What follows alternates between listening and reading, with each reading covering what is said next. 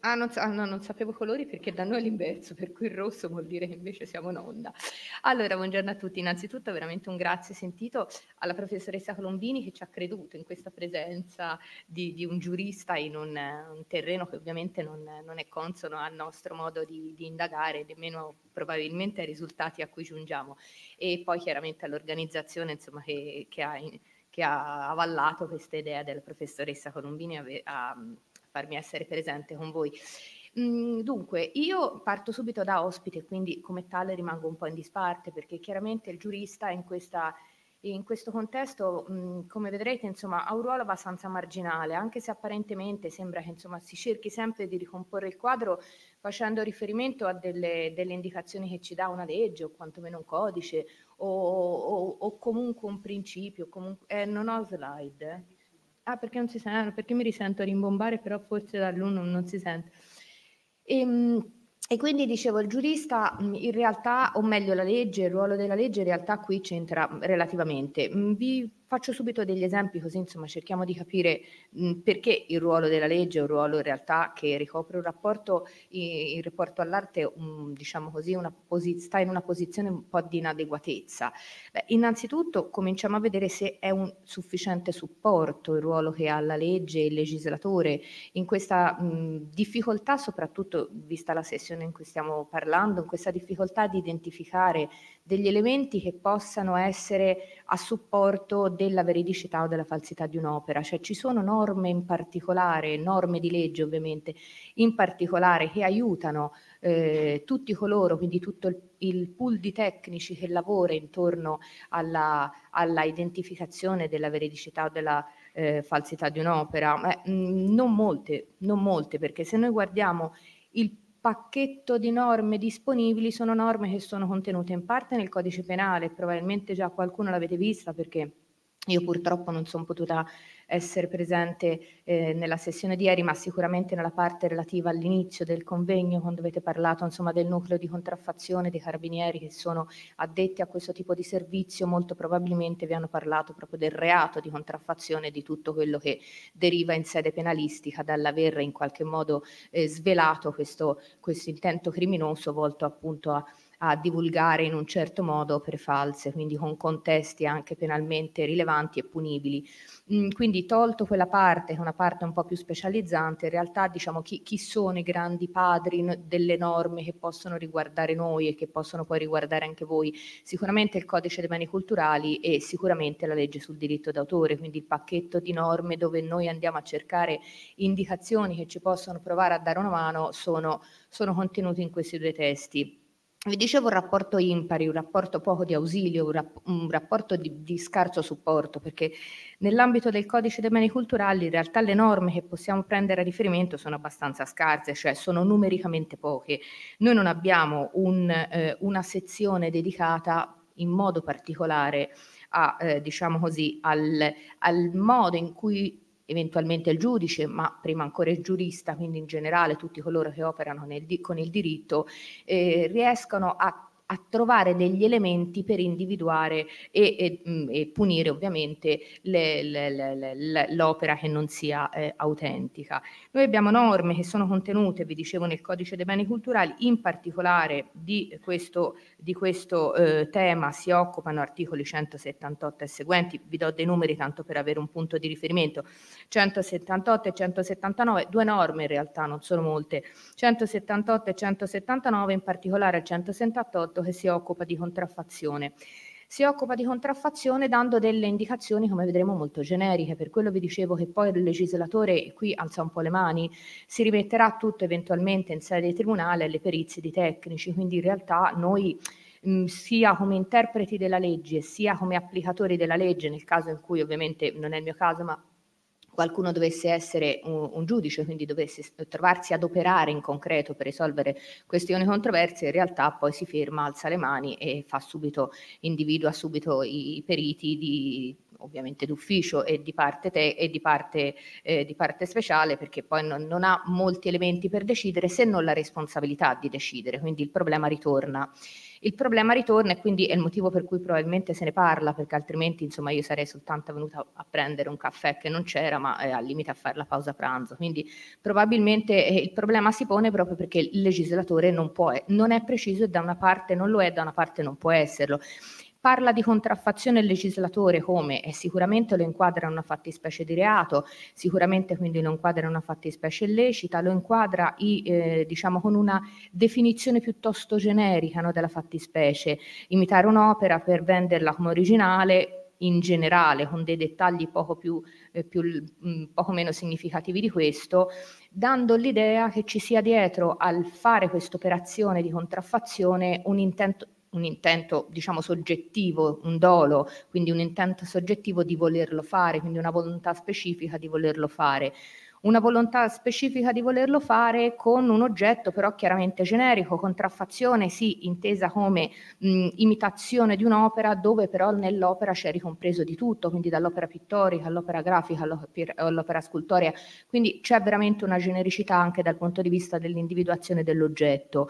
Mh, sicuramente eh, c'è una genericità anche dal punto di vista del tipo di volontà che si richiede per procedere verso quella eh, fattispecie criminosa, quella fattispecie quindi punibile. La volontà vuol dire tante cose, quindi bisognerà indagare poi sotto il profilo giuridico che cosa vuol dire aver voluto proprio in maniera precisa contraffare un'opera.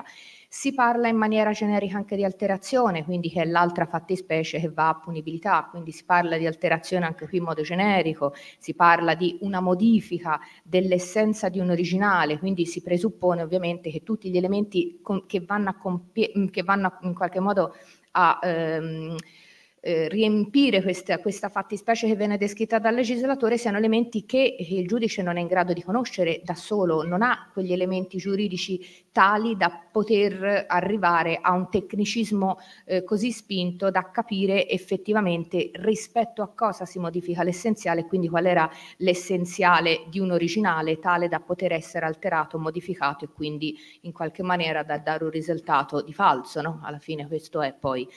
Riproduzione, anche qui riproduzione è un concetto che porta una punibilità se non c'è un'autorizzazione a farlo, laddove naturalmente eh, si parla di riproduzione tecnologica di un originale eh, che sia ovviamente eh, manifestata e che vada in qualche maniera a eh, tradursi in un, una vendita eh, come se fosse originale, quindi in qualche maniera un modo anche di divulgazione eh, attraverso poi le tecnologie che si sono perfezionate sempre maggiormente, quindi aumentano anche la capacità divulgativa e la capacità riproduttiva, però anche qui si parte da una base dove il giudice di fatto, se non ha un ausilio di fondo di partenza, non è in grado nemmeno di capire come e quanto può essere riprodotto e in che termini l'effetto di questa riproduzione può in qualche maniera arrivare a danneggiare l'opera originale. Quindi da questo punto di vista, come vedete, quello che ci dà come indicazione l'articolo del codice dei beni culturali che si occupa in modo particolare di questo pacchetto della contraffazione è qualcosa che insomma ci aiuta relativamente poco. Mm, sicuramente qualcosina in più ricaviamo dalle norme sui diritti d'autore, norme sui diritti d'autore che qualcosina in più ci offrono, nel senso che norme sul diritto d'autore ci danno come indicazione di fondo mh, l'idea che ci sia una protezione, il bisogno di una protezione sia dal punto di vista diciamo, dei diritti morali che dal punto di vista dei diritti patrimoniali dell'artista che è eh, colui che insomma eh, esegue in maniera originale, autentica e quindi autonomamente, liberamente un'opera eh, dichiarata artistica. Qui mh, ovviamente perdonatemi per i termini che non saranno perfetti, io provo a tradurli in termini giuridici, quindi sicuramente avrò fatto anche delle sovrapposizioni non perfettamente in linea con quello che deve essere, per cui mh, passatemi il giuridichese perché a volte si, si, si, mi manca tutta la parte che voi invece eh, considerate già acquisita, che è quella della preparazione della preparazione storico-artistica, se non da studi che ho fatto, ma poi mi sono fermata lì. Mm, vi dicevo quindi sicuramente qualcosina in più arriva di lì perché questa protezione di un diritto patrimoniale è un diritto morale, si specifica che cos'è un diritto patrimoniale, si specifica che cos'è un diritto morale, ma si ritorna sempre al punto di partenza siamo sicuri che siamo in grado di identificare l'opera originale su cui poi fa scattare questa protezione. Quindi, come vedete, è un circolo strano, si rincorre sempre, ma ritorna sempre al punto di partenza.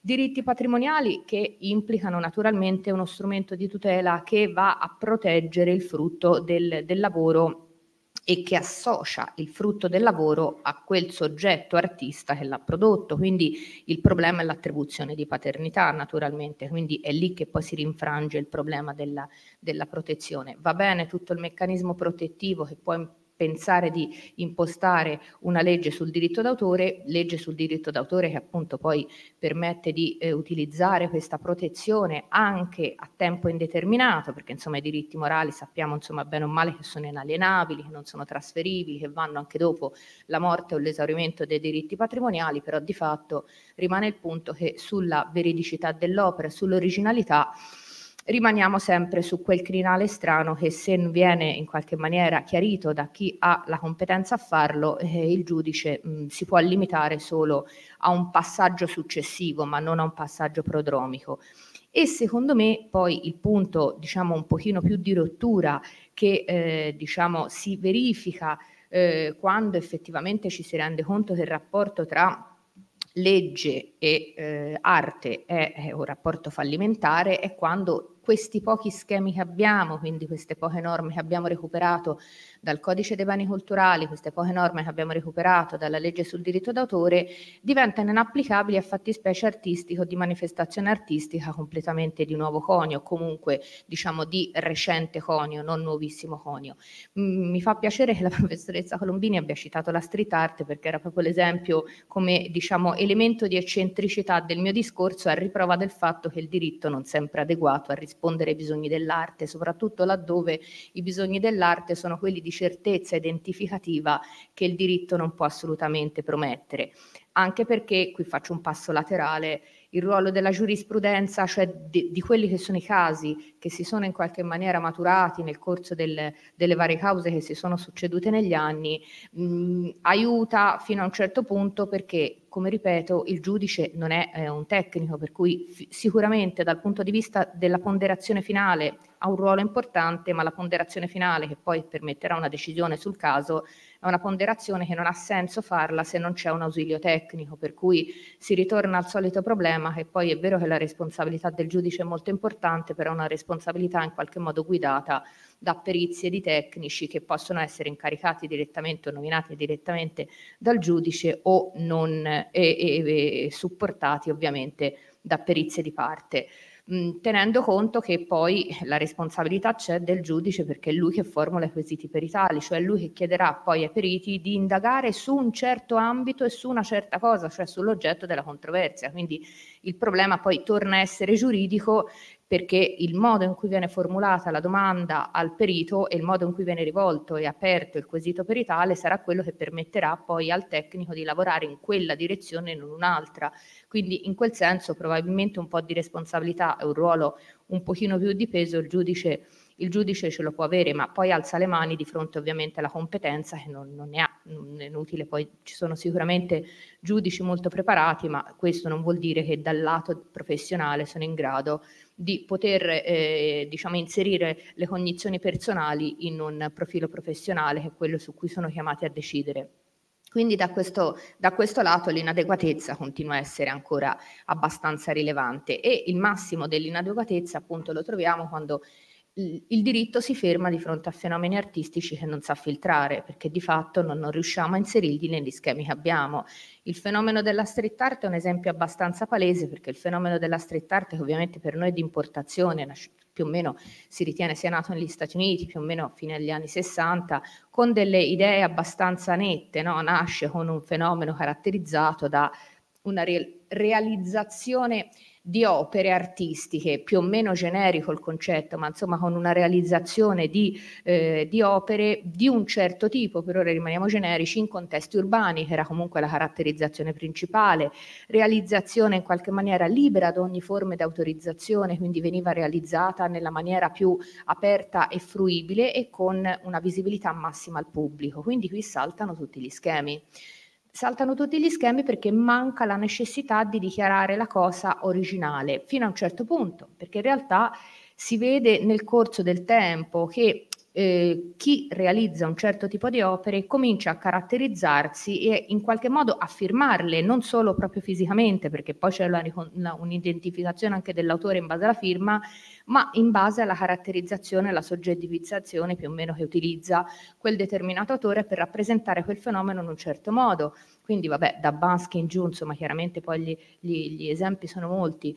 Eh, qui abbiamo un, un, problema del diritto a capire che cosa fare, perché innanzitutto si tratta di un'opera che, eh, una manifestazione artistica, rimaniamo, dicevo ancora generici, che non vuole il diritto d'autore non lo vuole, cioè non lo vuole, lo vuole fino a un certo punto perché vuole comunque l'associazione dell'opera al soggetto, però non vuole le conseguenze economiche, cioè non vuole in qualche maniera che si attivino quei meccanismi di tutela dei diritti patrimoniali connessi e annessi alla realizzazione dell'opera. Quindi abbiamo sicuramente un problema legato a quello che nasce insieme alla street art e a quello che consente alla street art di essere tale, cioè in qualche maniera la eh, divulgazione, la, ehm, l'arricchimento di certi contesti sociali, l'arricchimento anche di certe, eh, di certe forme diciamo, di, di, rinascita e di sviluppo di certi contesti sociali. Oggi la street art è associata sicuramente a valorizzazioni del territorio, a forme di rigenerazione urbana, addirittura attraverso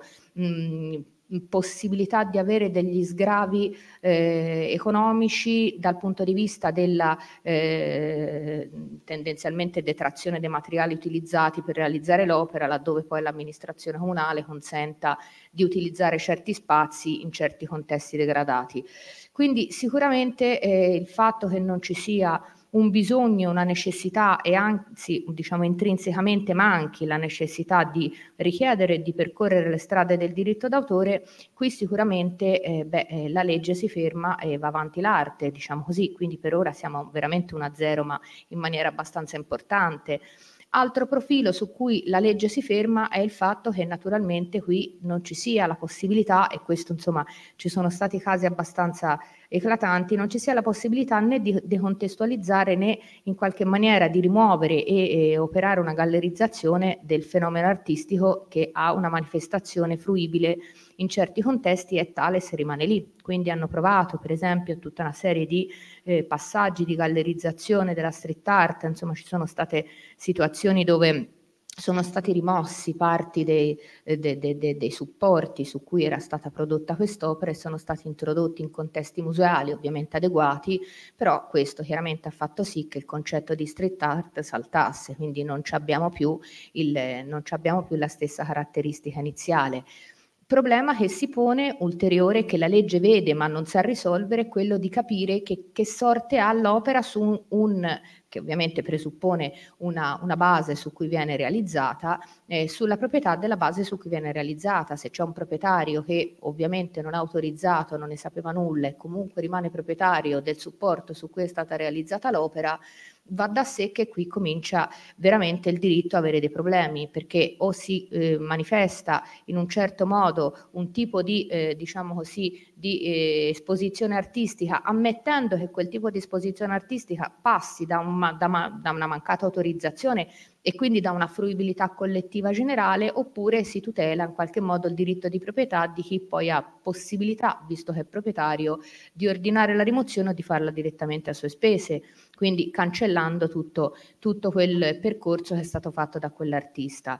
Quindi in questo senso sicuramente ecco, la street art si pone come ehm, elemento di rottura anche perché, e qui mi fermo eh, fra pochissimo, anche perché teniamo conto che oggi laddove la street art, per esempio, come diceva la professoressa Colombini, guardate a Lucca, sì, ci sono tanti casi proprio di una cooperativa livornese che peraltro conosco, a cui è stato affidato il compito un po' di, in un, diciamo, in un grande progetto poi di, di, di riqualificazione urbana, di valorizzare alcuni, alcuni ambiti, alcuni eh, spazi eh, esterni nel, nella città di Lucca, in certi, in certi, quartieri un po' più, diciamo, tra virgolette, mol, moltissime virgolette degradati.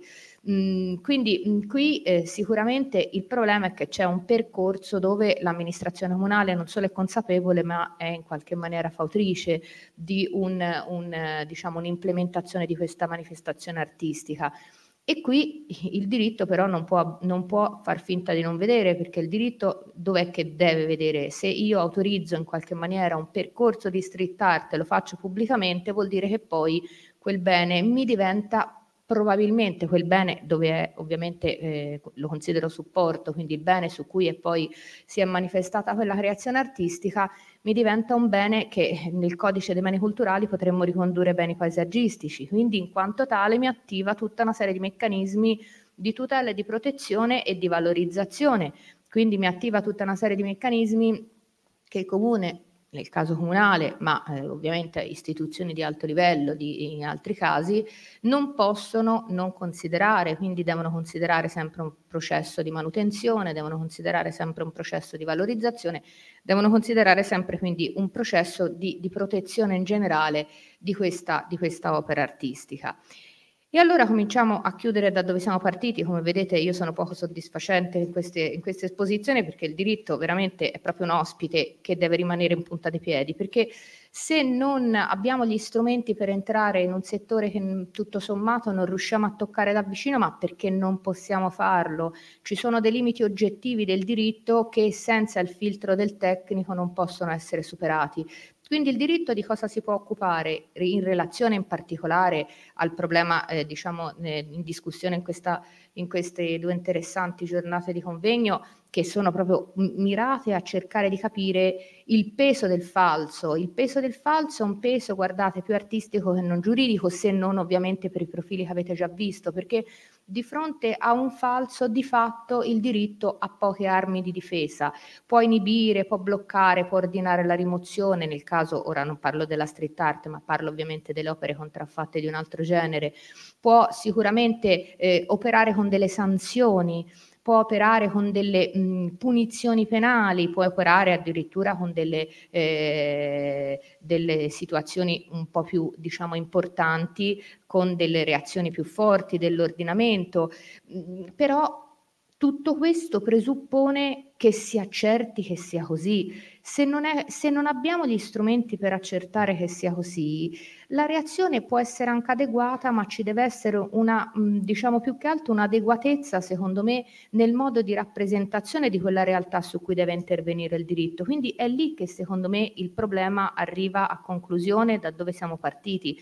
Noi non abbiamo, come giuristi, spesso tutti gli elementi, e credo che non li avremo mai, per cercare di intervenire adeguatamente se non dietro un supporto tecnico che è poi tutto vostro. Quindi noi possiamo reagire per dare probabilmente una tutela forse più adeguata possibile. Quello è forse l'unico ambito in cui la legge può assicurare qualche cosa, ma la legge non può, e questo credo non lo possa mai, arrivare a dare una mano concreta nella creazione della fattispecie che poi porta al bisogno di tutela. Quindi in questo senso molto probabilmente il giurista mh, gli schemi che ha sono schemi che risultano parzialmente inapplicabili nel, nell'ambito, nell'ambito insomma, del, della contraffazione e, de, diciamo, e dei danni derivanti a livello proprio eh, generale, non soltanto economico, non soltanto sociale, ma a livello proprio di immagine, anche di immagine di un paese, dove ovviamente è ovvio che ci sono degli artisti che sono proprio collegati in maniera, in maniera diretta a determinate provenienze. Quindi in questo senso il diritto è uno spettatore attento che è pronto ad intervenire quando viene chiamato a scendere in campo, ma non può da questo punto di vista, secondo me, partire come eh, diretto giocatore in campo perché non, non, non penso che avrà mai eh, degli strumenti adeguati. Quindi su questo da ospite sono entrata, da ospite rimango e mi fermo così lascio la parola a chi invece aiuta me. Grazie, grazie Valentina, sei stata chiarissima. Eh, perché noi siamo messi... Sì sei stata chiarissima. io ho un, una domanda specifica da fare.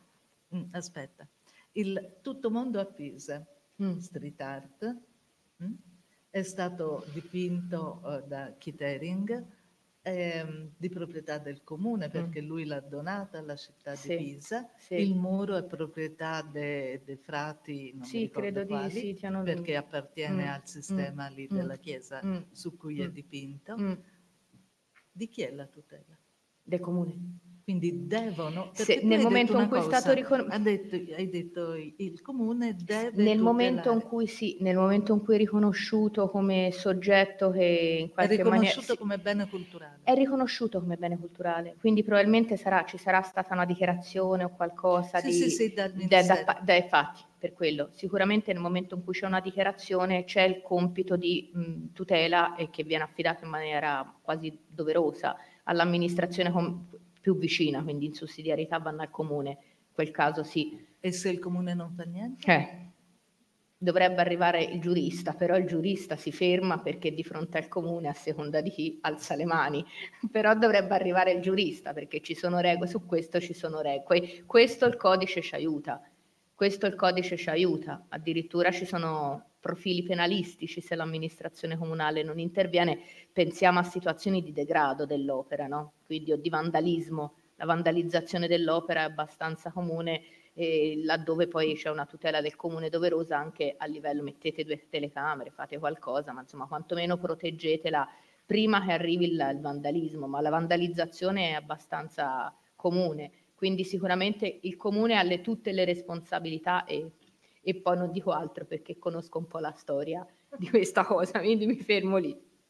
Beh, giusto per uh, conoscenza a Pisa, a Palazzo mm. Blu, è iniziata una nuova mostra su Kitering, mm. molto interessante, mm. chi ha tempo la visiti.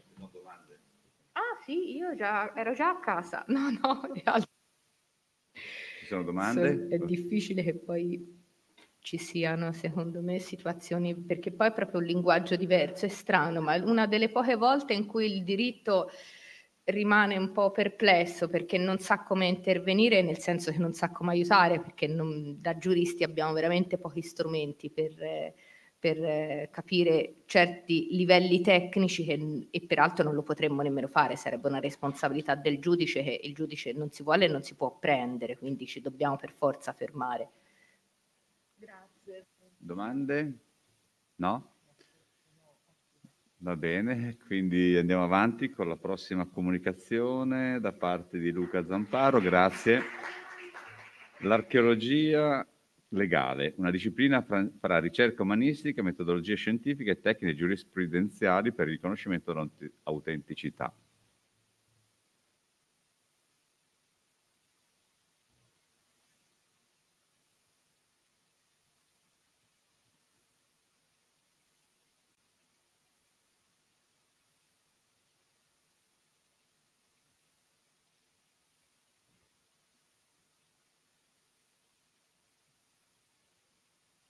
Tutti.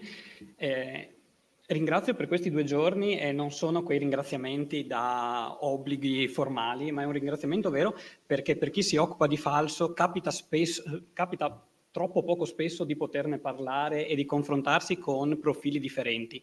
E devo ammettere che questa presentazione eh, ha risentito molto di questi due giorni perché ieri pomeriggio a un certo punto modificavo, aggiungevo, eh, proprio perché eh, ci sono stati tanti spunti interessanti.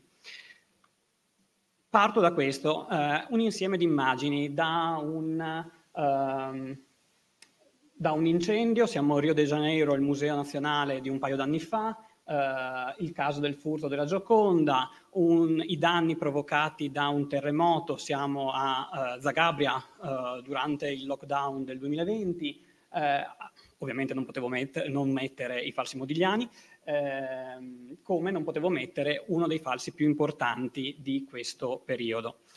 Eh, tutto questo... Sì, sì, sì, sì. divento matto. No, tranquillo, non... Ehi, due secondi.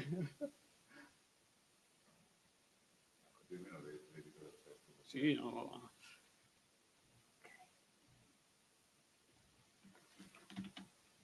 Grazie. E tutto questo in realtà in cosa uh, rientra? Dovete perdonare, ma uh, un archeologo vive di classificazioni e quello che farò oggi è classificare in realtà. Tutto questo rientra in una disciplina molto più ampia che non spesso viene applicata ai beni culturali, ma di matrice inglese e americana piano piano iniziamo ad applicarla. È della gestione del rischio. Tutto quello che abbiamo visto in, questo, in questi due giorni è gestire il rischio. Lo facciamo per il caso dei beni culturali. Ma come lo facciamo? Analisi statistica, la memoria, che è quello che stiamo facendo noi oggi, e l'osservazione diretta. Tutto questo in cosa rientra? Eh, io ringrazio la professoressa Giomi perché eh, ha semplificato di molto il mio intervento di adesso e soprattutto la voglio rincuorare. Io imparo tantissimo già i giuristi e lavoro con i giuristi H24 perché proprio affrontare il falso in maniera multidisciplinare, che è quello che facciamo noi oggi, è il modo corretto. Tutto questo rientra nell'articolo 3 del codice dei beni culturali in, piccoli, in due piccolissime parole, adeguata attività conoscitiva. Tutto lì è, si dice che il codice non è scritto bene, in realtà ha delle peculiarità stupende il codice dei beni culturali e questa è una di quelle. Ma perché? Eh, sì, mi sento meglio? e, ehm, questo perché? Questa è una rielaborazione dei dati che annualmente vengono forniti eh, dal Comando Tutela Patrimonio Culturale. Una rielaborazione che ho fatto sugli ultimi dieci anni. Se andate a guardare, eh, abbiamo in arancione in alto il reato di ricettazione. Se parlerete con chiunque del comando vi saprà dire che è quello più semplice.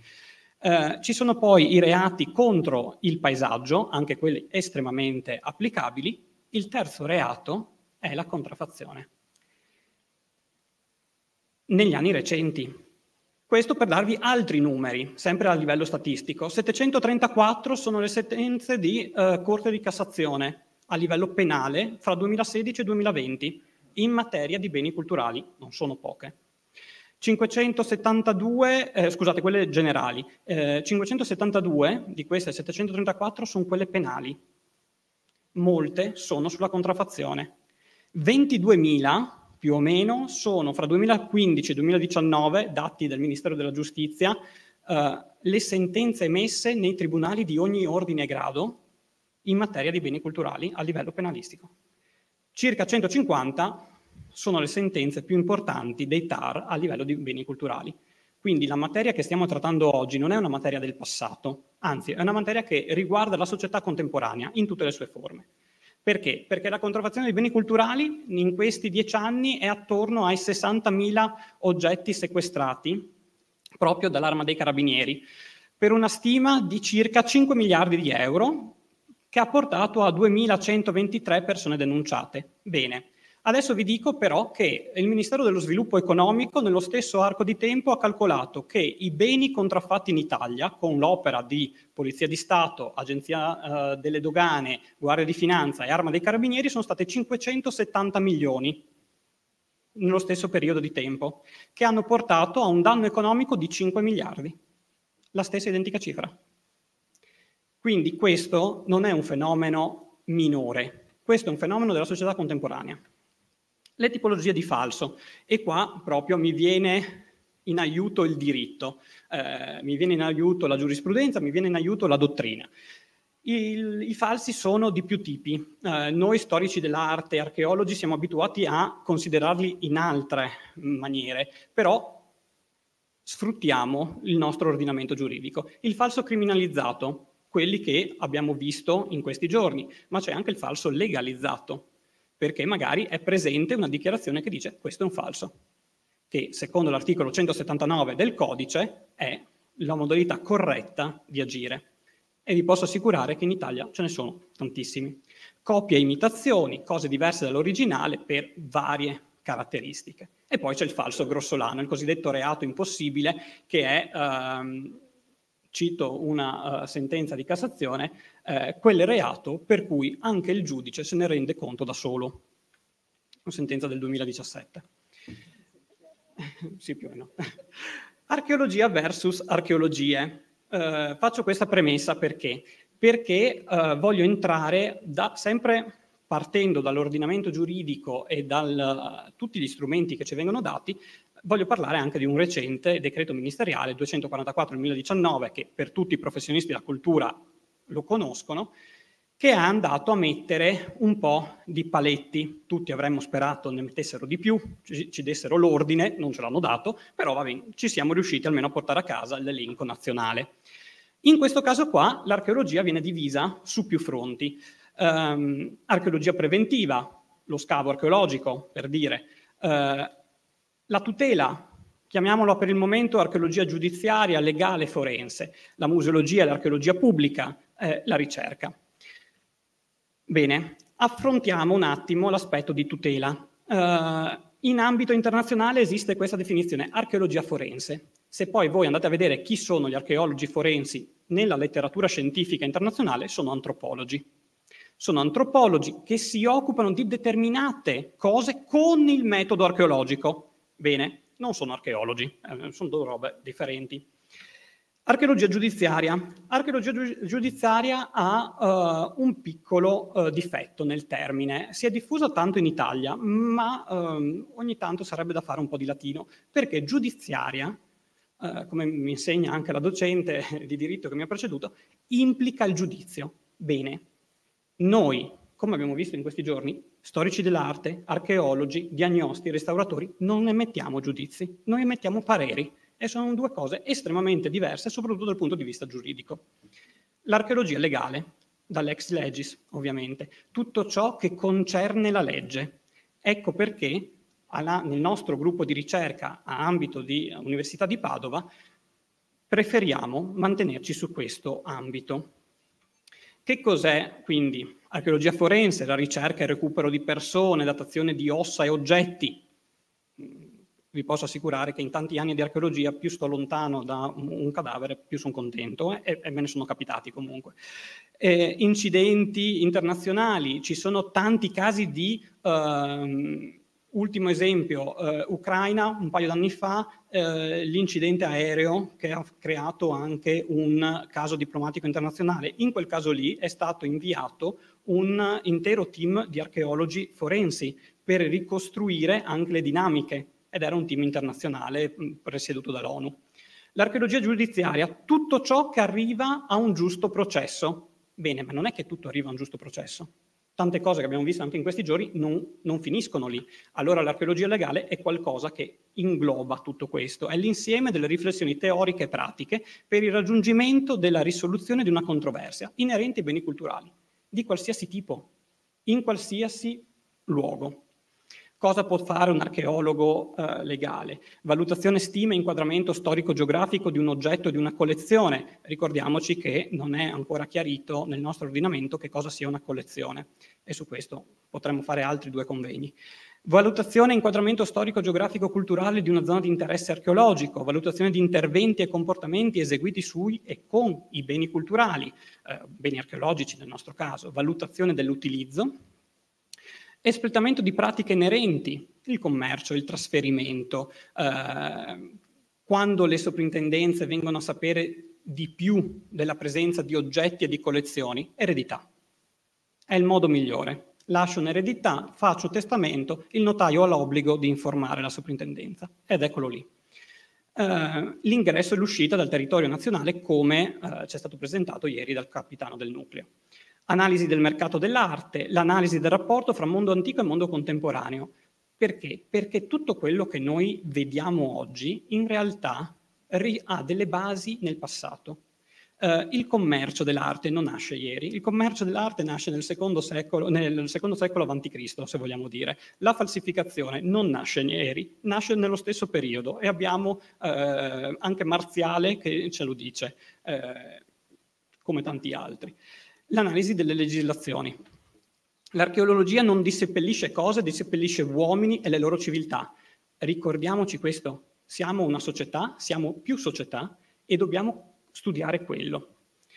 Allora quali sono le conoscenze necessarie di un archeologo legale? Sicuramente l'archeologia, la storia dell'arte, la storia, la cultura materiale, l'osservazione che citavamo prima, teoria e tecnica del restauro, così come la diagnostica dei beni culturali. Io devo sapere che tipo di indagini posso e devo fare in determinati momenti, come porre la giusta domanda, a me è sempre stato insegnato così in tutti i miei esami di archeometria, arrivare con la giusta domanda dal diagnosta, non dirgli scopri tutto, eh, cosa, cosa, deve scoprire? No, devono, dobbiamo essere insieme a lavorare per le risposte.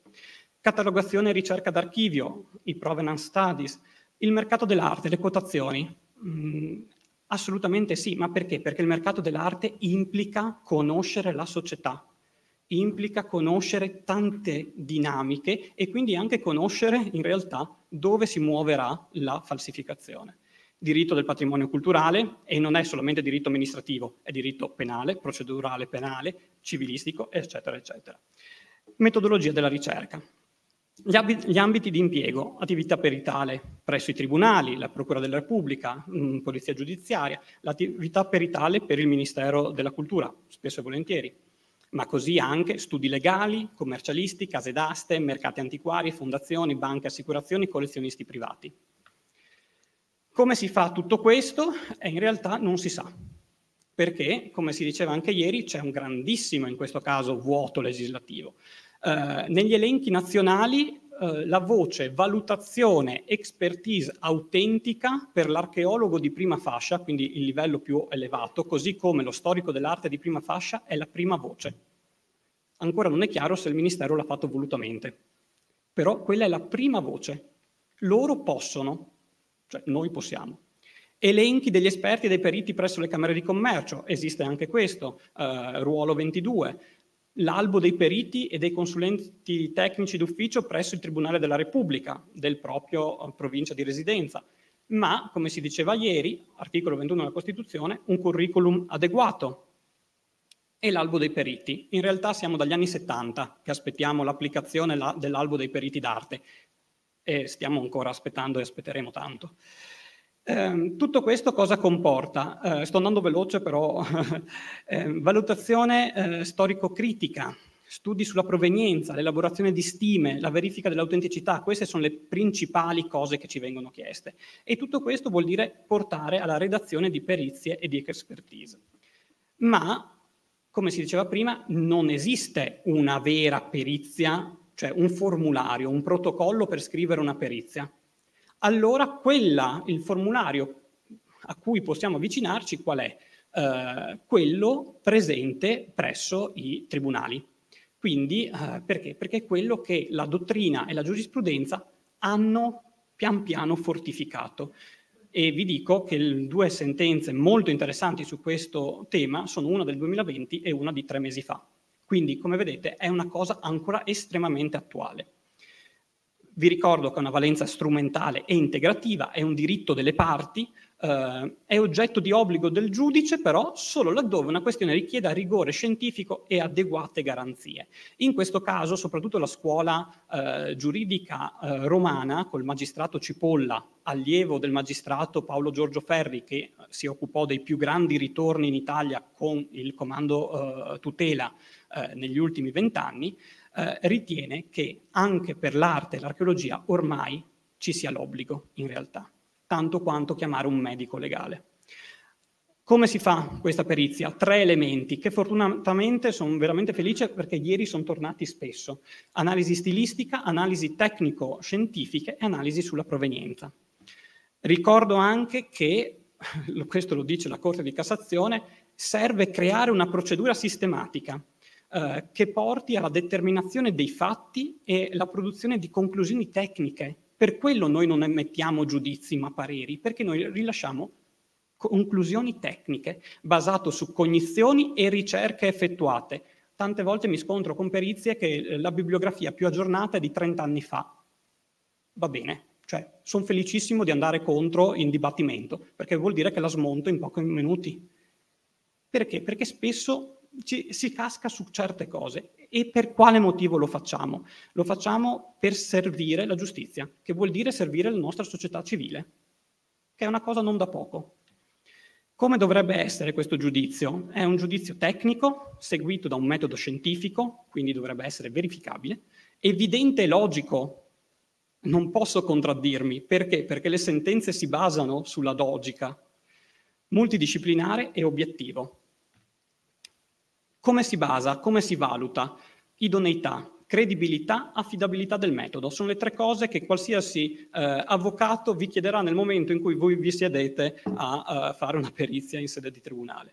Conoscenza e competenza teorica e pratica nel settore di riferimento, credibilità in ambito peritale e scientifico, ma soprattutto aggiornamento del metodo, delle tecniche, degli strumenti, validità riconosciuta, coefficiente d'errore. E come si verifica? Vado veloce perché sono tutte cose che immagino conosciate molto bene. Expertise, un documento ufficiale che contiene tutte le caratteristiche di un'opera, ma non contiene la valutazione economica, che è tipica della perizia. Il certificato di autenticità è una cosa più legata all'arte contemporanea, rilasciare certificati di autenticità per il mondo eh, archeologico, per l'ambito archeologico, potrebbe essere quasi una follia, eh, però queste sono le tre formule che la dottrina ci consente. Allora come si accerta l'autenticità? Come si ricostruisce la provenienza? Dall'insieme di quei tre metodi. Uno non esclude l'altro, ma non è che rispondendo alle domande di uno di questi metodi arriviamo a soluzione. Bisogna sempre lavorare insieme. Ieri a pranzo è stato molto interessante perché ero in un tavolo di restauratori e ci siamo confrontati sulla necessità anche di interfacciarci. Bene, noi lo facciamo spesso e volentieri. È quello il modo, è quello l'ambito. Per me, archeologo, ovviamente io parto da dire che cos'è. Che cos'è questo? Eh, è una penna. Chi l'ha fatta? Come l'ha fatta? Di che materiale è? In che epoca può essere fatta? E poi ottengo tutte le informazioni necessarie. L'analisi formale, le analisi di conservazione e restauro, chi ci ha messo mano, come ci ha messo, con che strumenti, con che tecniche. Riesco anche a datare le opere? Spesso e volentieri, quando ci occupiamo di questo materiale, ci occupiamo di materiale decontestualizzato, che ovviamente noi non sappiamo, non sappiamo nulla su di lui. Lo studio epigrafico, l'analisi stilistica e iconografica, sebbene storico dell'arte, archeologo, chiamatemi come volete, quella la tengo per ultima, perché è un insieme di informazioni a cui devo arrivare. E eh, queste due frecce cosa vogliono dire? Che è una scala questa, um, graficamente non sono riuscito a disegnarla, però è una scala, si sale e si scende. Non è perché uno di questi elementi mi dice è falso che allora è falso. È come una somma. Eh, in matematica io mi ricordo quel più più, meno meno, quelle robe strane. È, è la stessa cosa, identico. Si va e si scende, perché questo è il modo corretto poi di arrivare a una formulazione che sia credibile per gli altri. Perché se quello è il contesto interno di un oggetto, ricordiamoci che c'è il contesto esterno, chi l'ha fatto, quanto guadagnava, quando l'ha fatto, come è girato questo oggetto.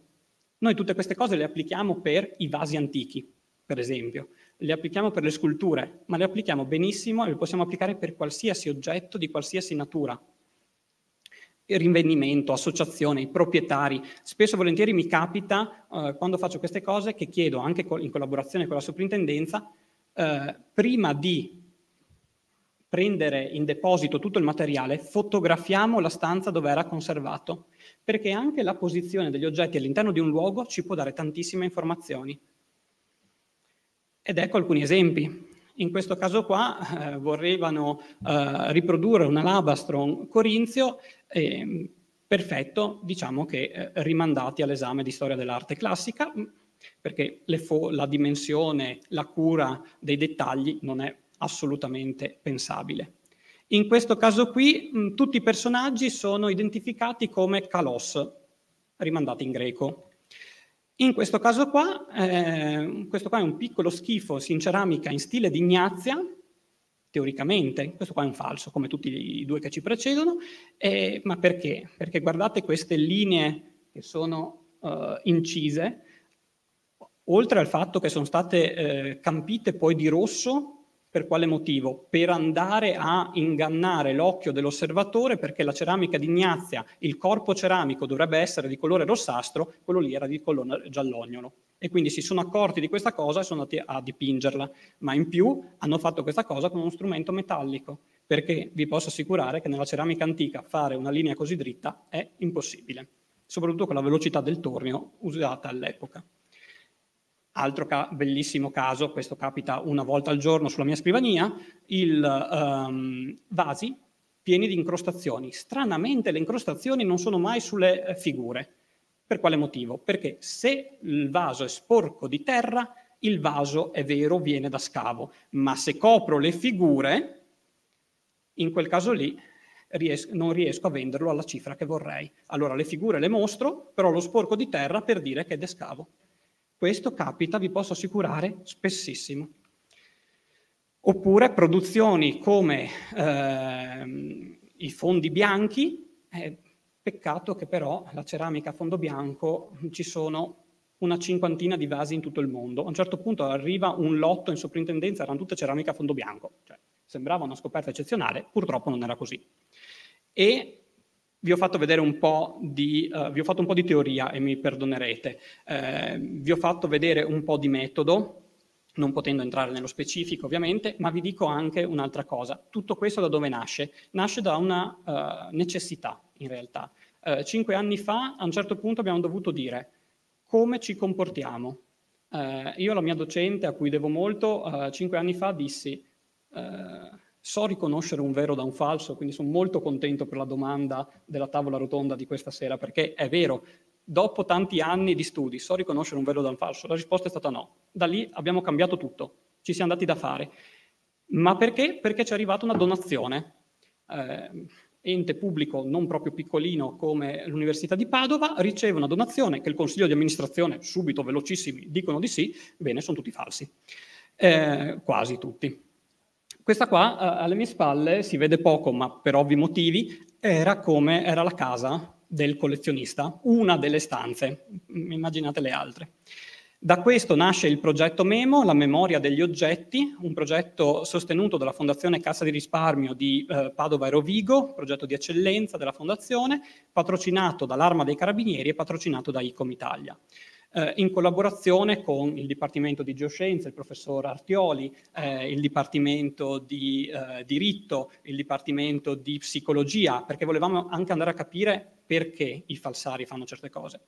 Qua vi ho messo una frase di Mark Jones del famosa mostra del British del 90. I falsi ci possono insegnare molte cose, soprattutto ci mostrano la fallibilità degli esperti. E infatti quello lì fu il caso della tiara di Saitaferne che ingannò il museo del Louvre e tenne banco per molto molto tempo. Quella lì era una delle cartoline ironiche della stampa francese dopo questa cosa.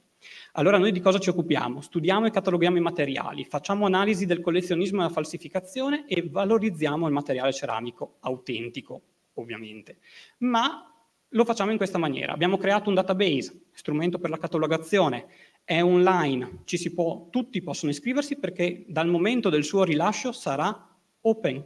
Noi siamo per l'open science, quindi tutto quello che facciamo sarà aperto a chiunque, con gradi differenti ovviamente, e tutto quello che facciamo l'abbiamo fatto in collaborazione con l'ICCD, l'abbiamo fatto in collaborazione con la soprintendenza, l'abbiamo fatto in collaborazione con la direzione regionale musei.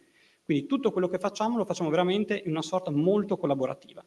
Uh, un sito internet, potete, progettomemo.it, trovare tutte le informazioni delle attività che svolgiamo. Stiamo sviluppando un'app, ho oh, quasi concluso, stiamo sviluppando un'app eh, e quella è un serious game, è un gioco per avvicinare le persone all'archeologia da un lato, ma per introdurle ai rischi del patrimonio culturale e quindi incentivare una cultura della legalità. Abbiamo fondato una rivista, eh, dall'anno scorso, il primo numero, um, se tutto va bene, esce nei primi mesi del 2021, eh, Authenticity Studies, International Journal of Archaeology and Art. Vi aspetto. Eh, da questi due giorni qua ho capito che vi aspetto. Eh, siete tutti ben eh, accetti perché? Perché è assolutamente multidisciplinare. Dentro abbiamo un comitato scientifico internazionale, open access, gratuita, ci tengo a dirlo tutto sarà caricato in PDF. Eh, tutto secondo la normativa ANVUR, altra cosa da specificare. Abbiamo creato dei momenti di formazione e li abbiamo istituzionalizzati. Siamo la prima università in Italia a far questo, oltre Roma 3. Un corso di laurea specifico ha tre voci, l'archeologo, lo storico dell'arte, il geologo chimico, perché così cerchiamo di andare a affrontare proprio dal punto di vista multidisciplinare l'argomento un laboratorio di autenticazione che mi vede come docente in cui mettiamo a lavoro gli studenti sui beni. Il loro scopo è scrivere una perizia, loro non sanno se l'oggetto davanti a loro è un oggetto vero o falso. È un'esperienza incredibile. Perché i falsi cosa ci permettono? Ci permettono di comprendere meglio in realtà il materiale autentico, perché ci sfidano e quindi dobbiamo migliorare le nostre conoscenze. Ci permettono di capire la ricezione del mondo antico nell'età contemporanea e moderna. Ci permettono di studiare il fenomeno del collezionismo. Mercato, collezionismo, falsificazione vanno insieme, sempre. Ridefiniscono le nostre tecniche di indagine, ci permettono di formare i professionisti della cultura del futuro e diffondere una cultura della legalità ad ampio spettro nella società. Lo abbiamo fatto eh, con una prima pubblicazione, adesso anche qua entro i primi tre mesi usciranno altri due nostri volumi, Anthropology of Forgery, e vi ho messo eh, l'emblema, il motto della nostra università, Universa Universis Patadina Libertas. Di tutti per tutti la uh, libertà dell'Università di Padova. Questo credo sia anche il motto della terza missione delle nostre università e quindi proprio ci crediamo. Il database riporta già una sezione per l'archeometria, una sezione per l'autenticazione, una sezione con immagini ad alta definizione e modelli 3D, gratuita, a disposizione di chiunque. Fake news, eh, la app che stiamo creando e sviluppando in questo momento, eh, momenti di lavoro, un MOOC, quindi un corso online gratuito che sarà a disposizione e lì fatto proprio in collaborazione fra il Dipartimento di Beni Culturali e il Dipartimento di Diritto eh, Pubblico della nostra università, quindi giuristi e archeologi insieme, gratuito online a disposizione, spero a gennaio. E infine Argilla, storia di vasi, aperta a Vicenza, gallerie eh, di Palazzo Leoni Montanari, Intesa San Paolo, eh, una mostra curata da Monica Salvadori, Monica Baggio e dal sottoscritto. La terza sala presenta una sezione dedicata a questo argomento. Eh, nelle teche non ci sono le didascalie e c'è una sfida. Sapresti riconoscere il vero dal falso? Vi posso assicurare, nelle teche ovviamente ci sono eh, sia veri che falsi, e vi posso assicurare che è difficilissimo, ma questo lo facciamo proprio per aiutare a comprendere questo fenomeno. Io sono un archeologo e dedico il mio tempo a cercare di raccogliere notizie sul comportamento di uomini morti da lungo tempo. Tuttavia mi piace pensare che anche la conoscenza archeologica possa dimostrarsi utile alla società, utile nell'aiutare a pensare in maniera più chiara e quindi ad agire in maniera più umana. Vi ringrazio. Grazie.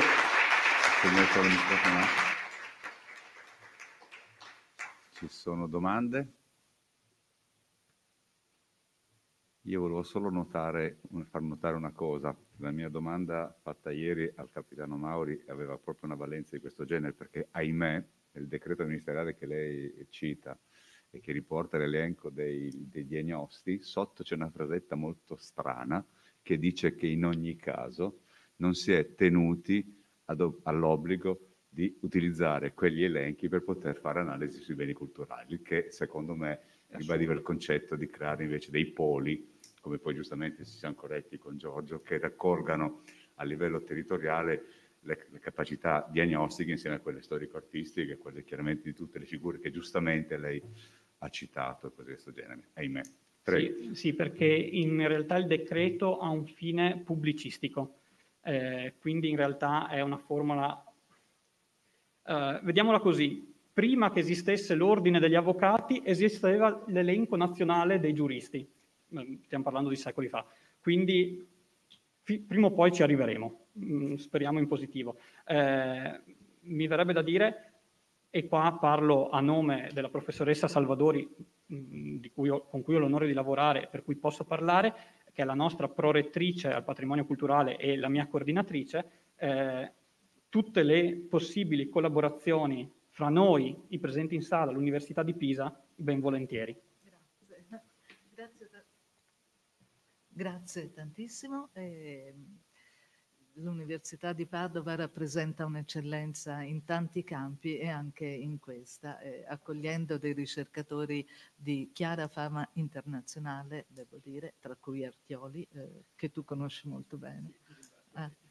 Bene, spero che nel futuro potremo di sicuro collaborare tutti assieme e, e risolvere questioni spinose che sono state eh, elencate e messe in chiaro come questa ultima.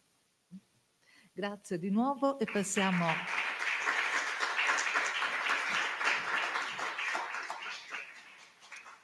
E passiamo all'ultima comunicazione di stamani presentata dal dottor Vincenzo Palleschi, Il falso in numismatica, fra parentesi, e come scoprirlo? Forse sì, forse no.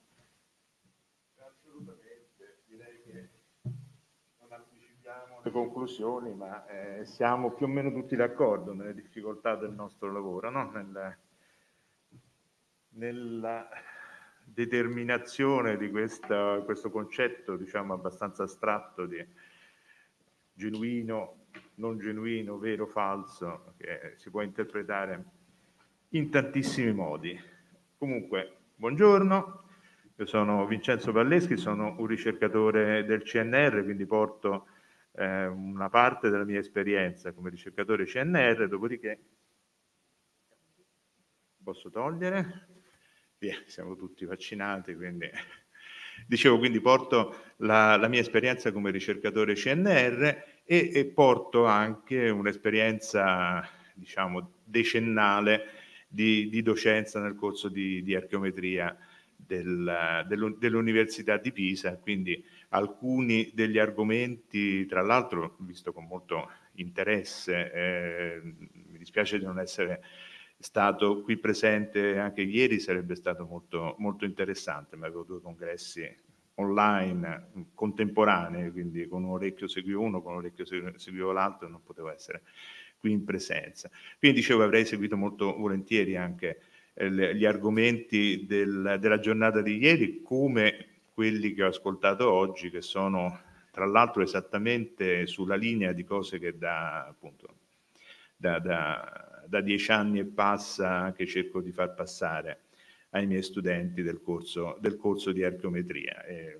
alcuni di questi concetti magari li, li ribadirò andando avanti nella, nella, nella, mia presentazione perché secondo me sono abbastanza importanti. A volte sono stati sottolineati, eh, un po' di più, un po' di meno dai relatori, quindi magari vi dico anche come, come la vedo io.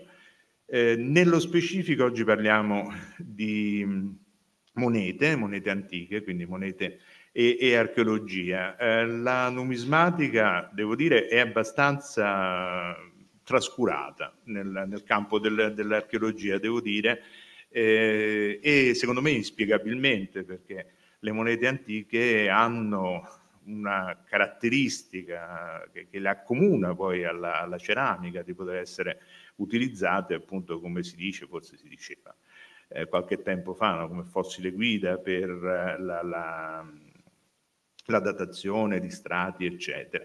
Ovviamente a differenza della ceramica, essendo normalmente le monete fatte di un materiale più durevole che poi viene anche riutilizzato, eh, le nostre informazioni cronologiche ovviamente possono dare soltanto un termine postquem, terminus postquem eh, di, di, de, del momento insomma, a cui si riferisce il, il, nostro, il, nostro, ritrovamento, che vuol dire tutto, vuol dire niente, perché postquem è anche oggi rispetto al momento in cui la, la, la, la moneta è stata, è stata, emessa, ovviamente va tutto interpretato secondo una certa, una certa, logica, però la caratteristica della moneta non è soltanto quella di, di, di poterci dare a volte delle datazioni almeno in termini di emissione che possono essere definite al mese, no? eh, ma anche quella di avere questa, questa doppia doppio ruolo, do, doppia funzione di, di, uno strumento economico che eh, se propriamente interpretato ci permette anche di, di, di, avere delle informazioni importanti su quello che è la, la, la, l'economia, gli scambi della società eh, in cui questa moneta eh, circolava al tempo, al tempo dell'emissione. L'altro livello, che è quello che poi anche eh, a me personalmente interessa e piace moltissimo, è anche il fatto che la moneta è sempre stata, da quando eh, ha cominciato a circolare ai giorni nostri, uno strumento anche di propaganda importante. Eh, poi vi farò un esempio andando avanti in cui secondo me il, parallelo è abbastanza importante, però pensiamo soltanto a questa moneta che rappresenta Giulio Cesare, lo rappresenta in una maniera assolutamente non, come dire, non ufficiale, perché non era consentito ai personaggi pubblici essere rappresentati nell'epoca romana sulle, sulle monete proprio per il rischio della, eh, diciamo anche propagandistico di una cosa del genere e si dice che tra i tanti motivi che poi hanno portato anche alla, all'uccisione di Giulio Cesare ci sia stato questa, questa ibris di, di, di, di voler e, e, poter essere rappresentato, anche se appunto non in maniera ufficiale, sulle, sulle monete. Eh, tra l'altro questa è una moneta che vale diverse migliaia eh, di euro, proprio perché tutto quello che è associato ai personaggi importanti della storia, le monete bibliche ad esempio che hanno, avrebbero un valore numismatico assolutamente trascurabile, vengono moltiplicate per fattori eh, notevoli. E questo è l'altro livello ulteriore di, di, di interesse del, della numismatica che le, le, le, monete sono anche a volte oggetti d'arte, sono belle, sono interessanti, hanno un valore storico, hanno un valore economico e quindi su questi piani dobbiamo secondo me eh, lavorare e discutere quando si, si discute del falso in, in numismatica, quindi un piano meramente economico che nel passato era collegato al valore proprio intrinseco del metallo del, del, della moneta, poi un aspetto sociale, economico, un aspetto propagandistico anche, come abbiamo detto, e poi soprattutto, sopra nel senso come sovrastruttura, anche il fatto che queste monete, oltre ad essere oggetti interessanti dal punto di vista fondamentale, dal punto di vista storico e archeologico, sono anche oggetti che hanno un loro valore collezionistico e non da oggi. No? Si dice che il collezionismo di, di, di, di, monete antiche sia nato con Petrarca, ma diciamo eh, parliamo di collezionismo moderno perché sappiamo che anche gli imperatori romani collezionavano oggetti archeologici e sicuramente monete etrusche e così via, andando, andando nel passato. Quindi quando si parla di falsi, eh, dobbiamo ragionare su diversi livelli. Diciamo che il falso probabilmente più semplice da individuare è il, il falso realizzato per aumentare il valore della moneta o se volete aumentare il valore dell'oggetto che stiamo producendo eh, rendendolo paragonabile a quello della, della, moneta autentica e questo ovviamente è qualcosa che si poteva, si può, si poteva eh, fare soltanto se la moneta aveva un, un suo corso legale, non avrebbe avuto senso eh, fare delle monete false che poi nessuno avrebbe voluto ehm, accettare. E questo è abbastanza ovvio, è anche abbastanza ovvio che se eh, la, la, moneta deve avere eh, prodotta come falso, deve avere un costo per il falsario inferiore, notevolmente inferiore rispetto a quello della moneta autentica, questo gioco funziona, funzionava nell'antichità per le monete d'argento, per le monete d'oro, cioè monete eh, che, che, comunque contenevano argento e che contenevano oro, e non avrebbe avuto senso falsificare una moneta in bronzo, ad esempio, perché sotto il bronzo, dal punto di vista, sotto il rame, diciamo, dal punto di vista de, dei materiali, non avrebbe sarebbe stato economicamente, forse probabilmente fatto in ferro, poteva anche costare un po' di meno, ma non avrebbe avuto ragione di essere. Quindi diciamo che i falsi antichi sono anche abbastanza semplici poi da, da, da, da realizzare perché si caratterizzano proprio col fatto di avere una composizione, una lega o comunque una struttura che è completamente diversa rispetto alla moneta autentica e un, eh, una composizione di materiali che eh, è sicuramente meno, meno di pregio rispetto alla, alla moneta autentica.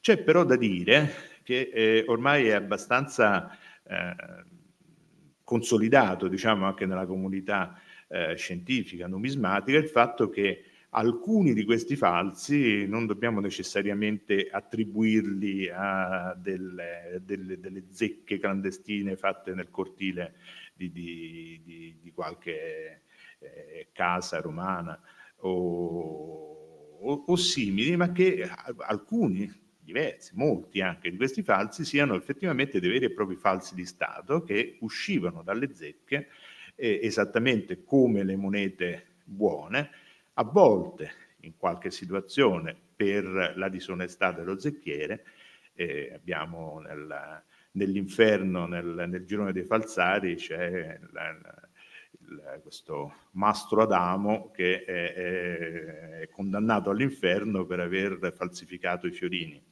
fiorentini, naturalmente, eh, togliendo tre carati di, di oro dai 24. Del, e, e, questo è appunto Dante. Lo, lo, mette lì, i falsari venivano, c'era la pena di morte, insomma, per chi falsificava la moneta, era una cosa abbastanza seria, ma questo non frenava comunque il fatto che a volte lo zecchiere potesse comunque cercare di, di, di lucrare sui materiali, ma sappiamo, lo sappiamo in maniera abbastanza definita, che spesso era proprio la, l'autorità eh, emittente che riduceva la, la, la quantità di, di, di, metallo nobile in corrispondenza, poi farò vedere un esempio abbastanza evidente in corrispondenza di situazioni in cui evidentemente dal punto di vista economico era necessario in qualche modo risparmiare. E questo niente di nuovo sotto il sole, insomma, i governi sono sempre stati ladri sia quando c'era il sole che quando pioveva, quindi non, non è cambiato molto nel passato. Dopodiché abbiamo le monete imitative e anche in questo caso eh, la, l'individuazione del falso è abbastanza evidente, sono monete eh, spesso diciamo anche antiche, insomma, che, che, che, che, iniziano a circolare in quantità abbastanza importante nel XVI secolo con la riscoperta, insomma, del mondo, del mondo classico, del mondo, del mondo antico. Eh, si riconoscono perché sono monete che sono ispirate ai modelli classici, sono dei sesterzi che non sono stati mai coniati al tempo di Roma e che sono stati riprodotti ispirati in questa maniera a Padova ad esempio, no? con la, la, produzione di Cavino. Qual è il problema? È che questi falsi d'autore, eh, soprattutto appunto i, i padovanini eh, del, di, di, di, Cavino, come si, come si dicono, sono, sono, diventati oggetti di collezione che valgono molto di più degli ipotetici originali che dovrebbero imitare. E là stiamo, eh, siamo abbastanza nei guai, perché eh, l'analisi scientifica potrà dire giustamente che non sono sesterzi romani del periodo primo secolo d.C. o quello che sia. Eh, secondo, quello, quello, che vogliamo, però dopodiché se eh, si tratta di, di, una, di un, una, copia fatta appunto da, da, da un grande artista, che poi erano artisti, eh, o meno, questo lo può dire soltanto lo, lo, lo, storico, il numismatico e sicuramente non lo possiamo dire noi con, con la diagnostica che, che, va poi a studiare la materia e la materia lì ci dice poco. Se andiamo nel grande mondo dei falsi moderni, allora di nuovo stiamo, siamo nei guai perché non vuol dire che non si può fare niente, eh? vuol dire che la situazione è molto più complicata eh, per diverse ragioni. Primo fra tutti che il, il falsario eh, moderno non, non, si preoccupa del, del costo della materia prima, perché comunque va a produrre un oggetto che per il suo valore eh, estetico, per il collezionismo, eccetera, eh, gli riporterà con gli interessi il suo investimento sulla materia prima, quindi non possiamo andare neanche a giocare quando è veramente insomma, un falso fatto bene, non possiamo andare neanche a intervenire su questo. Inoltre il falsario, se è bravo, studia esattamente come noi, quindi sa quali sono le tecniche di, di, di controspionaggio, come si dice, e cerca di spiare al meglio, come nel campo appunto della, della, della geopolitica tra spie e, e controspionaggio esattamente, o nello sport, insomma, doping e antidoping, è una corsa, no? chi, chi, chi studia di più vince e normalmente Il falsario ha delle buone risorse, studia perché ci deve mangiare e, e spesso insomma, vince la, la, corsa. Noi tra l'altro stiamo facendo delle, delle, bellissime discussioni, guarda come siamo bravi, questo è falso, questo è falso, questo, eh, questo invece è vero e probabilmente dovremmo pensare che nei nostri musei, se andiamo a guardare bene, non è soltanto questa bellissima iniziativa, andate a vedere, ci sono alcuni veri e alcuni falsi, andate in un museo eh, vero e io ci metterei la mano sul fuoco che la, la, metà delle cose, per essere ottimisti, che sono esposte in un museo eh, archeologico probabilmente non, eh, non, non, ci dovrebbero stare, non sono, non, sono reali. Eh, quindi c'è tutta una storia di successo dei falsari che noi non conosciamo proprio perché è di successo. Ma eh, tornando a noi, quando si parla di falsi moderni, appunto c'è questo problema. C'è il problema che se noi vogliamo naturalmente affrontare come si deve eh, il, il, problema del, dell'analisi utilizzando delle tecniche non distruttive, non, non, ci sono delle tecniche che permettono di datare un, un metallo. No? Quindi abbiamo veramente eh, poche risorse e, ehm, e, cerchiamo di giocarcele bene naturalmente queste risorse, ma non, ehm, non, è, non è assolutamente non è assolutamente facile, anche perché eh, questo credo sia stato ripetuto all'infinito,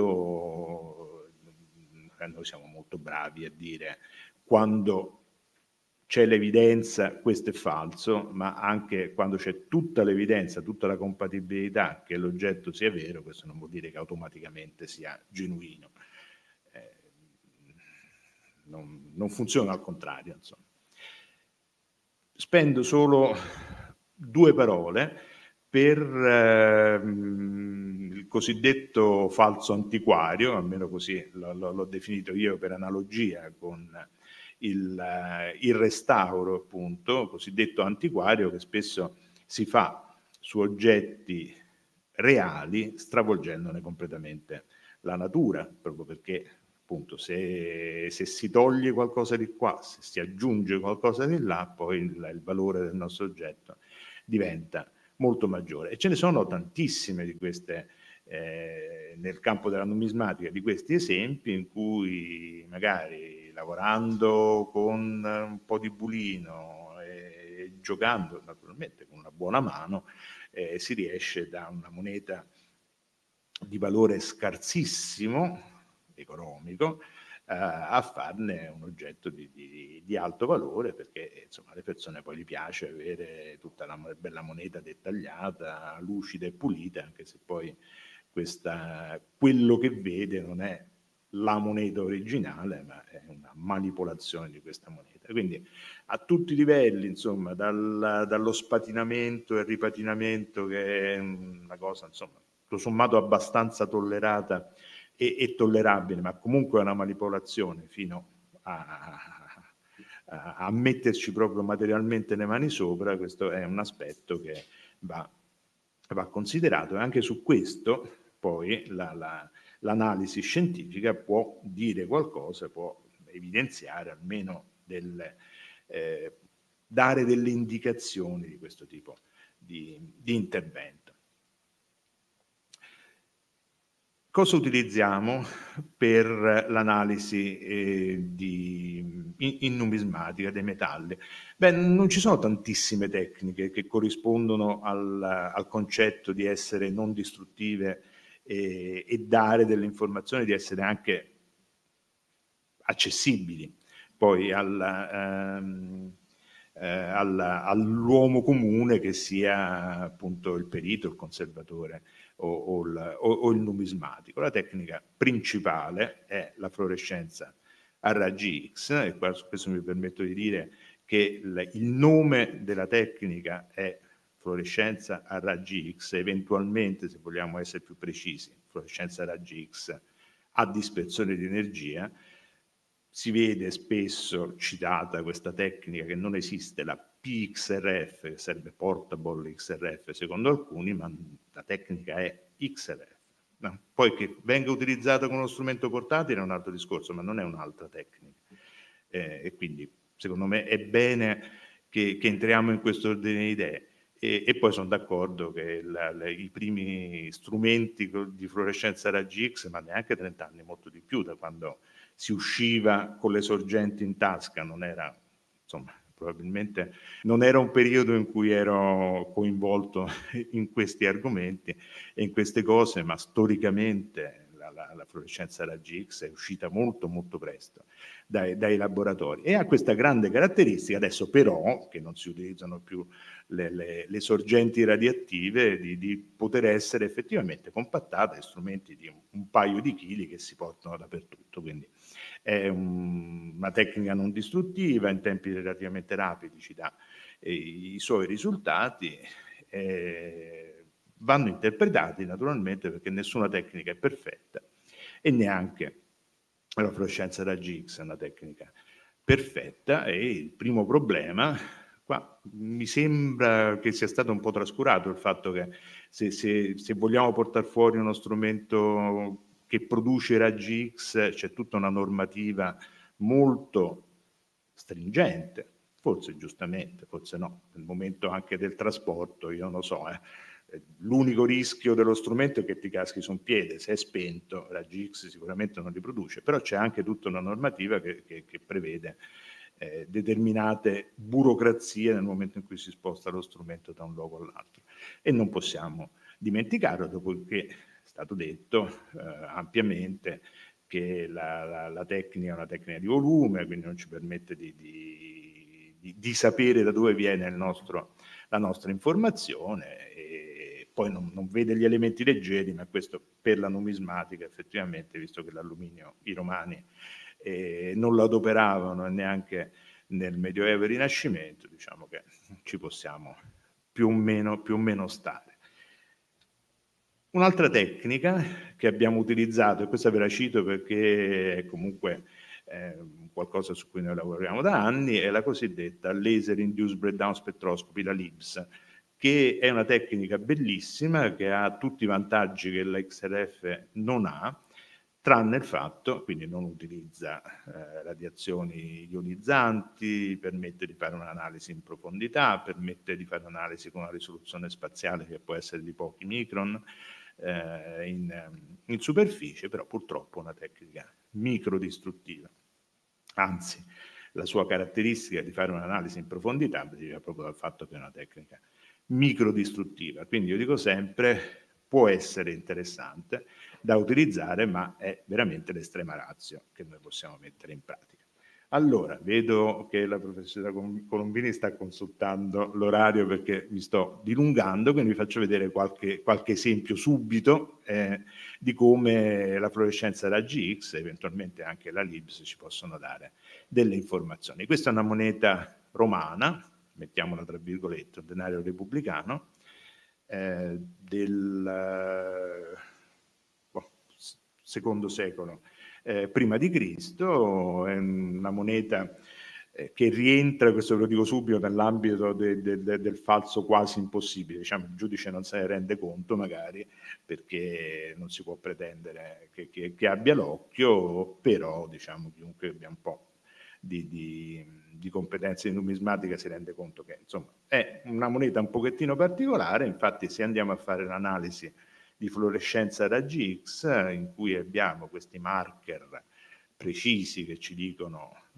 gli elementi che sono presenti nella lega, vediamo che rispetto a una moneta d'argento 835, quindi neanche particolarmente carica d'argento, questa riga d'argento, nella nostra moneta d'argento ce n'è veramente poco, e, e però c'è, stagno, c'è rame, vabbè rame, questo, c'è il piombo e va bene, il piombo tutto sommato ci può anche stare, e poi c'è l'antimonio, poi c'è di nuovo le righe dello stagno, quindi alla fine vediamo molto rapidamente in 30 secondi, un minuto, che la nostra moneta non è un denario repubblicano autentico perché i romani il peltro non, lo, non l'adoperavano, questa è la lega di stagno, piombo, antimonio, eh, è, è, la lega del peltro, quindi vediamo subito che la, la moneta non è eh, non, non, è autentica. E, tra l'altro, diciamo, e qua vi faccio vedere un altro esempio, eh, qua invece abbiamo il falso di Stato. Abbiamo un'analisi di 100 e passa denari repubblicani fatta al monetiere di Firenze in funzione della loro data di emissione, quindi sappiamo, come dicevo, in alcuni casi proprio al, al mese quando una certa moneta viene, viene, prodotta e vediamo da un'analisi quantitativa che la, la, la concentrazione di, di, di rame, eh, guardate un po', in corrispondenza dei momenti di, di, di crisi sociale, di guerre, eh, carestie o quello che sia, o diciamo carenza di fornitura, eh, vai lì e ci aggiungi un pochettino di rame, togli un po' d'argento e alla fine le casse eh, vanno e funzionano. Anche qua mh, mm, permettetemi di sottolineare una cosa, questa è un'analisi quantitativa, l'XRF è una tecnica quantitativa, il concetto di tecnica semi-quantitativa secondo me dovrebbe uscire fuori proprio dal, dal discorso scientifico, perché che vuol dire semi-quantitativa? Vuol dire che mi fermo a metà, cioè faccio una misura e poi dopo quantitativa e poi basta? No? Una sorta di, di, di misura interrotta? No. Eh, o faccio una misura qualitativa o faccio una misura quantitativa. Poi posso fare una misura quantitativa con grosse indeterminazioni, però è sempre una misura quantitativa, quindi se vogliamo tra amici chiamarla semi-quantitativa va bene, però forse bisognerebbe cercare anche dal punto di vista formale di, di utilizzare dei termini che, che, che, siano secondo me più, più, corretti. Quindi misura quantitativa e vediamo che la, la, la concentrazione di, di rame eh, aumenta nei momenti di difficoltà. Qual è il momento di maggiore difficoltà della, eh, della Repubblica Romana? Il momento in cui finisce di essere Repubblica e con, con la guerra civile tra Marcantonio e, e, Ottaviano. E qua vi faccio vedere questi bellissimi denari che, che coniava uh, Marcantonio eh, per pagare i suoi legionari, infatti sono, si chiamano denari legionari, e hanno questa caratteristica, non so se vi ricorda qualcosa, di avere una faccia comune, che è la, questa, eh, questa galera, galera e, mh, mentre sul retro è personalizzato, ogni legione aveva la sua, la sua personalizzazione. Vi ricorda qualcosa? Tipo ad esempio l'euro che ha una faccia comune e poi dopo eh, la, la, il retro invece è, è, personalizzato. Un modo anche questo per unire no? nella stessa eh, impresa, che era la lotta appunto per il potere contro Ottaviano, e mh, tra l'altro dalla parte anche che riletta diciamo politicamente se avesse vinto sarebbe anche stata la parte giusta del, del, eh, tra le due parti in, in lotta e, e, questo diciamo quindi le differenze nell'unità.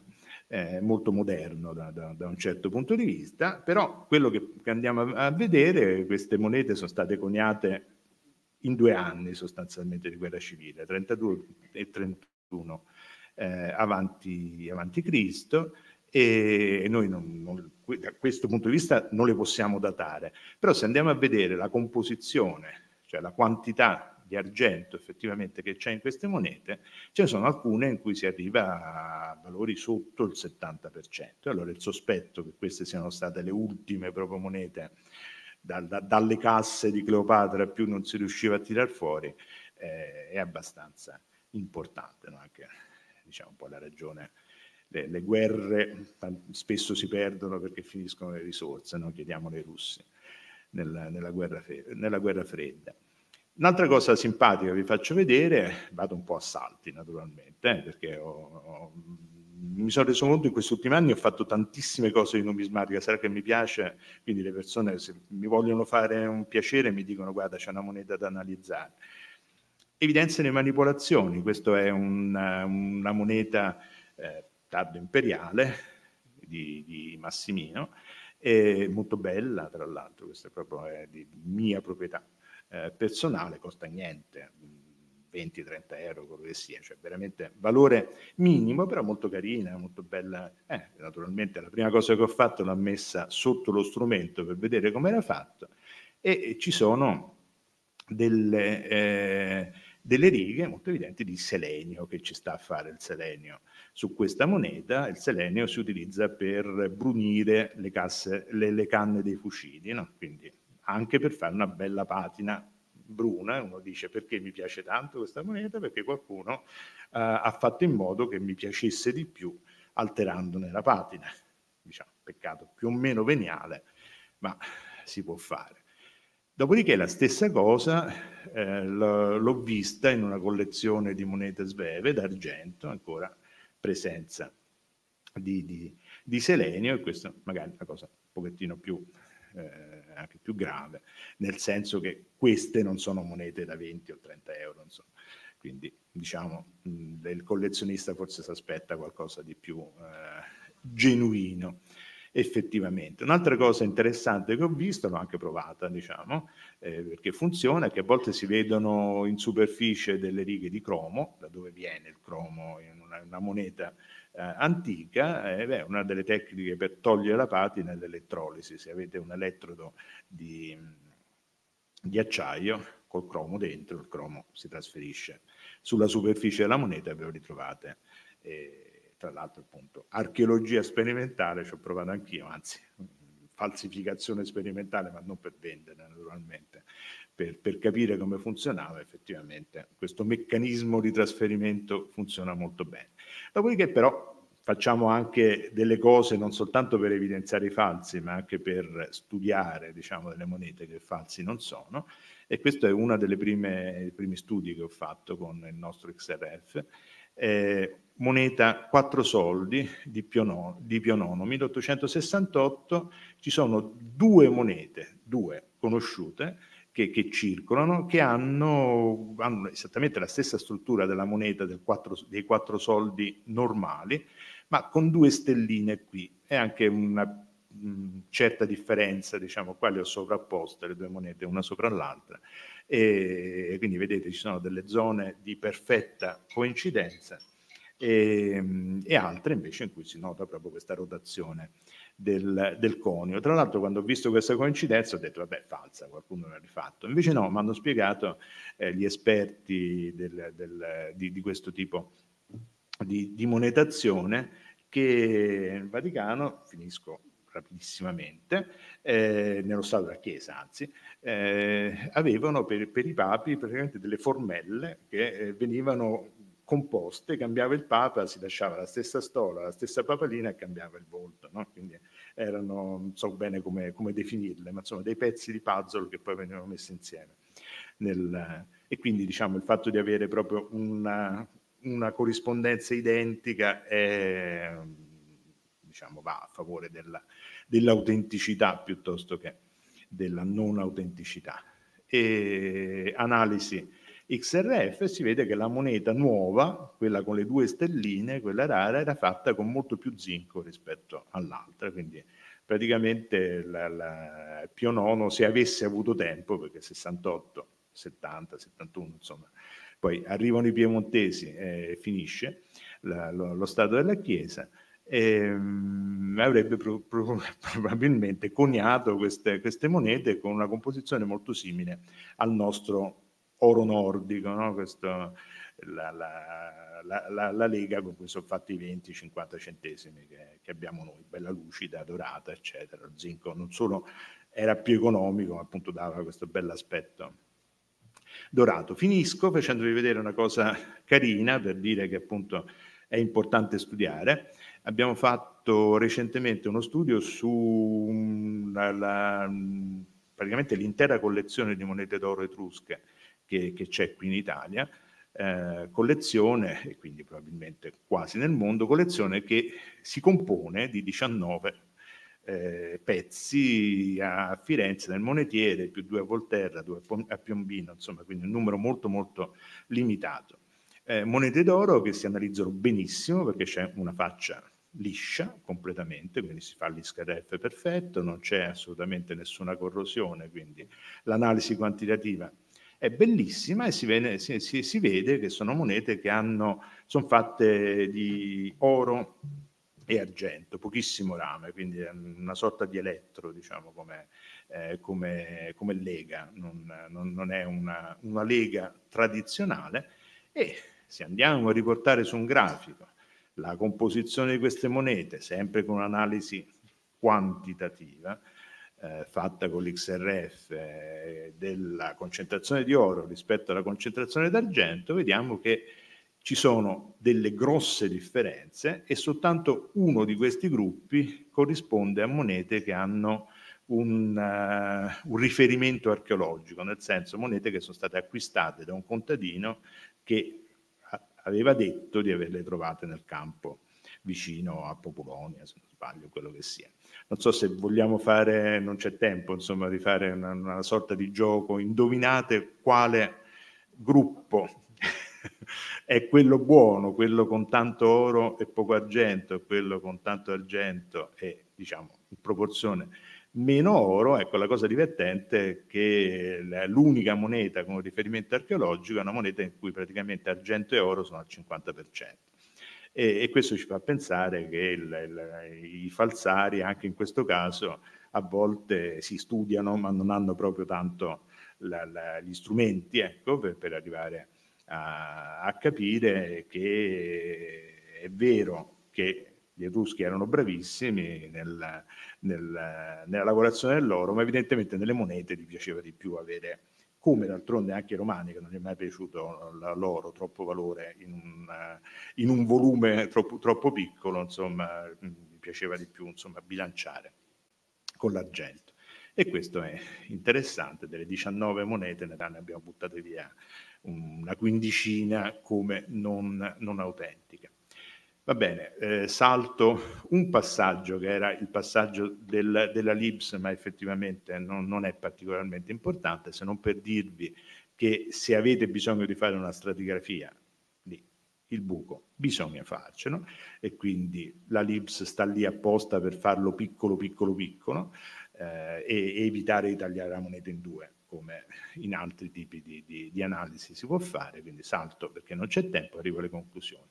E le mie conclusioni sono che eh, non si può prescindere da uno studio microanalitico dei materiali nella, eh, nella numismatica, che eh, è l'unico strumento scientifico che si può effettivamente eh, utilizzare, ma da solo non funziona, naturalmente si deve accoppiare con l'esperienza del numismatico, in questo caso con la consapevolezza che anche nella perfetta armonia tra il diagnosta e, il, numismatico, alla fine, l'esperto in numismatica, alla fine noi siamo bravissimi, come dicevo, a dire che una moneta o comunque un oggetto è falso, mai potremmo asserire con sicurezza al 100% che un oggetto è vero, ma né noi né lo storico dell'arte o il numismatico, perché se è vero che la scienza non dà delle verità assolute, a maggior ragione le verità assolute non le possiamo cercare nell'esperienza,